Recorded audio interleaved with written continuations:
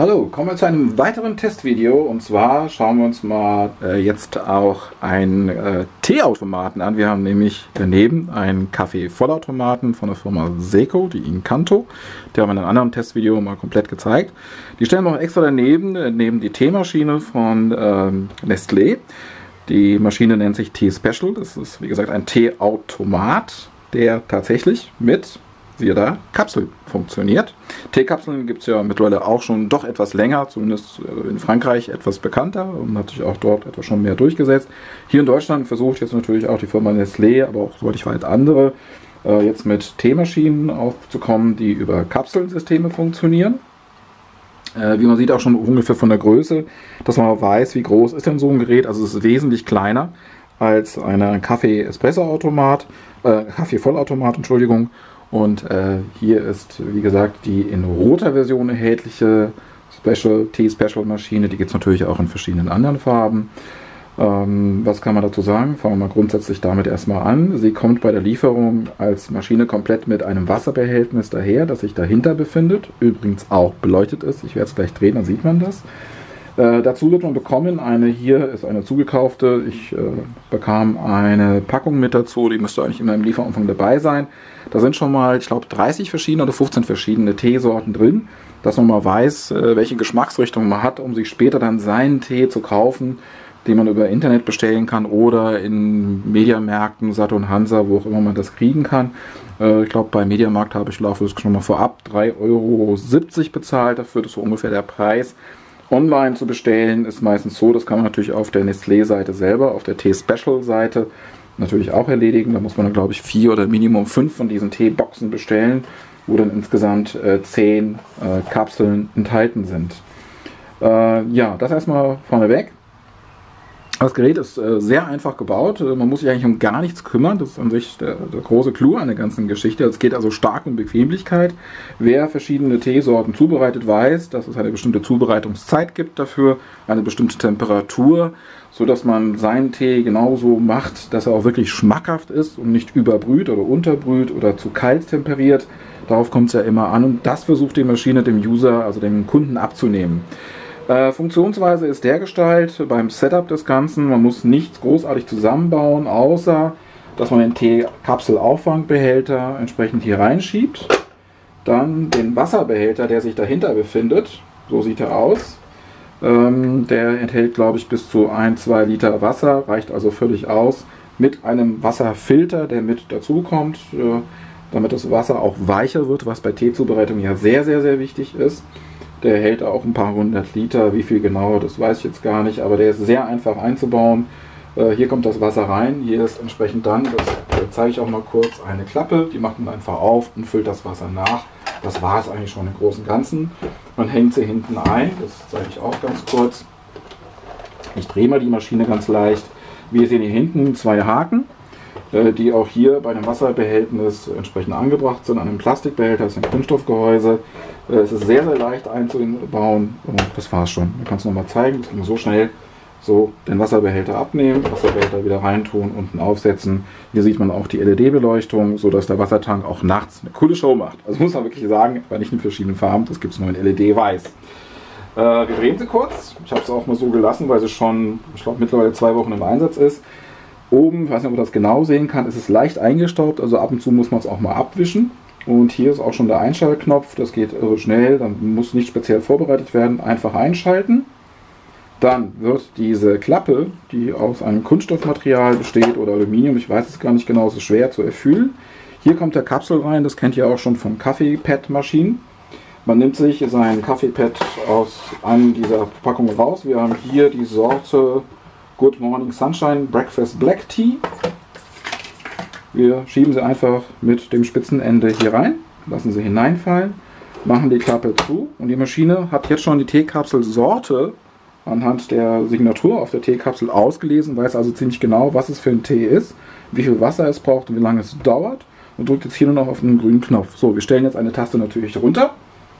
Da haben wir auch eine Taste schon fertig. Die nehmen wir uns. Die wird hier entsprechend runtergetan. Und wir drücken da drauf und schauen uns mal wie lange es dauert und wie laut es ist.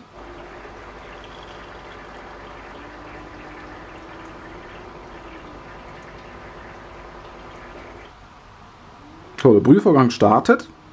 Und wie wir jetzt auch schon gehört haben, die Maschine ist sehr, sehr leise. Also ganz im Gegensatz zu einem Kaffee-Vollautomaten, der natürlich voll anfängt äh, mit dem Mahlwerk zu brühen. Und die wird jetzt schubweise den Tee Stück für Stück, den schwarzen Tee in dem Fall, in die Kaffeetasse auffüllen. Das geht jetzt also nicht in einem Durchrutsch, das dauert etwas. Wir machen das jetzt mal in Realzeit. Ich schneide jetzt nichts zusammen, dass man weiß, wie lange es ungefähr dauert. Und dann ist der Tee auch schon trinkfertig. Und wie gesagt, nochmals ganz wichtig, die Maschine weiß, das ist der große Vorteil, bei welcher Temperatur, äh, wie lange muss der Tee aufgebrüht werden. Und die Teemenge ist natürlich auch dosiert, deswegen ja auch die Kapseln immer im Vergleich auch zu Kaffee-PET-Maschinen und Kaffeekapselmaschinen. Auch sehr schön zu hören vielleicht, weil man wahrscheinlich so gut wie gar nichts hört. Die Teemaschine ist irre leise, das heißt, man kann auch mitten in der Nacht, wenn man unbedingt will, sich einen Tee machen. Und es gibt irre viele Teesorten.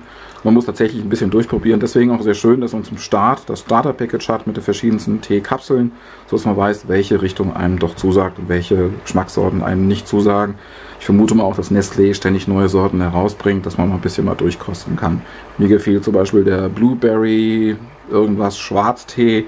Den fand ich ganz lecker eigentlich. So, der Tee ist schon fertig, wie man sieht, auch brühwarm.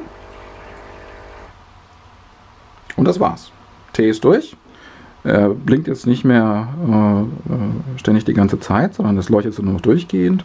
Und damit hat sich, ich kann meinen Tee auch testen. Wir wollen es mal probieren. Hm. Ich mache übrigens gerne immer einen Schuss äh, Milch hinein zum schwarzen Tee, also ein bisschen Englisch. So, was können wir noch zu der Maschine sagen? Äh, außer, dass man sie ab und zu mal oben reinigen muss, das Wasser zum Nachfüllen sehr, sehr easy gestaltet ist. Dieses Behältnis äh, enthält ja natürlich dann die verbrauchten Teekapseln. Wir zeigen das mal ein bisschen hier. Äh, die sind hier drin. Äh, wenn das voll ist, zeigt das auch an. Kann man ab und zu mal nachgucken und selber entnehmen. Wir nehmen mal eins heraus zeigen aber auch den Nachteil natürlich. Also einmal, der hat natürlich die äh, per Maschinerie die Teekapsel, diese Aluminiumhaut aufgestochen, sodass der Tee entsprechend ja auch durchlaufen kann mit dem Wasser zusammen und wird entsprechend dann entsorgt im Teeauffangbehälter.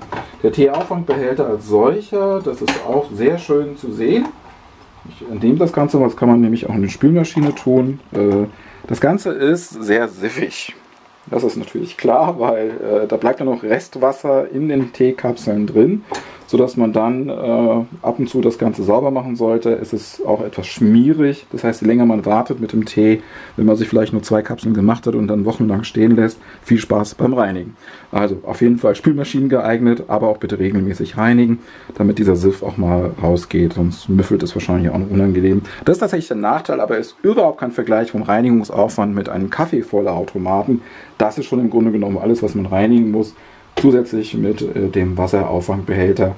Äh, diese Maschinerie selber, man sieht es, äh, wenn man das so aufmacht, dass es entsprechend dann auch herausfällt. So, kurz mal bücken. Ähm, Kaffeekapsel ist noch warm, man merkt auch, da ist noch ein bisschen Wasser drin. Das sifft noch, das kommt auch hier hinten raus, das sieht man hier an der Hand, denke ich mal. So, wir tun das auch wieder in den Kaffeebehälter, also in den Teebehälter hinein. Und den sollte man entleeren, den muss man natürlich genauso auch sauber machen, weil der unten auch durchsifft. Ja, das war schon im Großen und Ganzen. So, nachdem wir das jetzt entsprechend ja rausgenommen haben und gereinigt haben, ähm, ist das Ganze wieder einzusetzen. Das funktioniert auch sehr einfach. Man merkt das auch sehr schnell, wenn man falsch äh, liegt. Äh, so geht es nicht rein. Also muss man es drehen. So äh, funktioniert es dann eben entsprechend auch nicht. Das heißt, man kann eigentlich auch gar nicht viel falsch machen. Wieder hineintun und fertig ist die Geschichte. So, die Behälter weg, das Ganze hier wieder entsprechend draufsetzen, so wie es entsprechend herum passt. Und das war es im Grunde genommen auch schon. Das war es. Äh, insofern auch so, ja, die Klappe noch zu, die Teetasse drauf und fertig ist die ganze Geschichte. Ähm, ja, was kann man sonst noch dazu sagen? Vom Preislichen her, glaube ich, ist die Teemaschine mit ca. 100 Euro beziffert. Äh, die Teekapseln kosten, wenn man sie einzeln bestellt, im 10er-Package um die 3,50 Euro umgerechnet. Achtung, es gibt bei Amazon Angebote, habe ich schon gesehen, da kostet eine 10er-Packung fast 10 Euro. Ich verstehe jetzt die Preisschwankungen auch nicht unbedingt. Bei äh, Nestlé auf der Specialty-Seite muss man tatsächlich auch, glaube ich, äh, mindestens vier oder fünf Packungen bestellen, äh, sodass man auch auf die Versandkosten, äh, glaube ich, sich sparen kann. Äh, bitte immer mal genau drauf gucken. Ja, insgesamt, äh, ich mag die Zubereitung. Das Wasser ist äh, durch die Filterung auch natürlich sehr mild. Mir persönlich, äh, es hängt tatsächlich immer von der Teesorte ab. Äh, es sind nicht die meisten, die mir bisher geschmeckt haben, aber die paar, die geschmeckt haben, die waren sehr easy, waren sehr vollmundig. Das ist ja eine persönliche Geschmacksfrage letzten Endes. Allerdings auch der Vorteil ist tatsächlich die Bequemlichkeit. Ich brauche keinen Teebeutel mehr, es ist schnell gemacht. Ich muss nicht irgendwie aufpassen, wie lange ist die Brühzeit. Das nimmt mir alles die Maschine ab.